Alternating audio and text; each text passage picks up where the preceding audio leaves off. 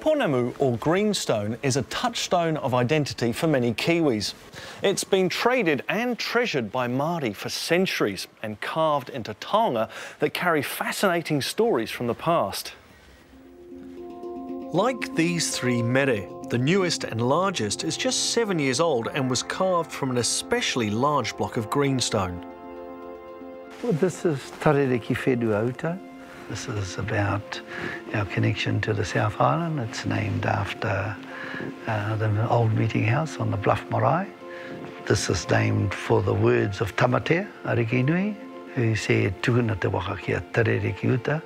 So tarere whenua ki uta is allowing the uh, canoe to go ashore. It's done in, in a double-handed style. It's, it's execution time with these ones. This is too big to be to be fighting with because it's just too big, but it's used for other purposes. So a lot of people, these ones disappeared quite early. I remember trying to bring this back on Air New Zealand and running into, uh, they wouldn't let me take it on the plane. I didn't want to part up with it.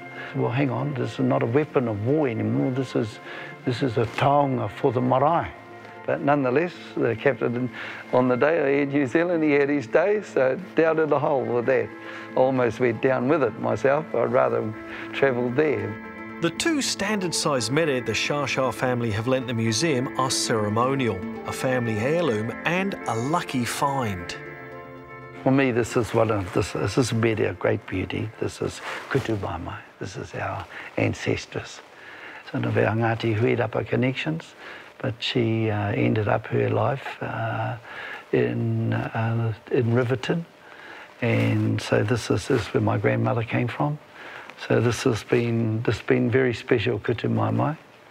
And uh, this has seen many an occasion in our family. And this is the kokopu mere called Toyahure. You can see here the kokopu. This is the, the, the native fish that this speckle on, on, on the belly uh, resembles.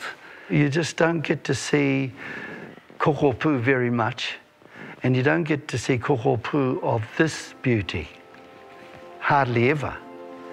And then to find a, a mere with it on, wow. I saw this in a shop up here in Cuba Street. And I couldn't believe it was just sitting there. And I reached quietly down and picked it up and never let it go until it was paid for in mine. And uh, I knew exactly because I'd, I'd, just been appointed as um, Pro Vice Chancellor at Victoria in the year 2000. And I thought, that's going to mark this occasion. And it's called Toiahure, which is the Maori name for, the Maori name of my position. So that's a special taonga indeed. While a modern mere can be useful in a war of words, their elders were meant for action.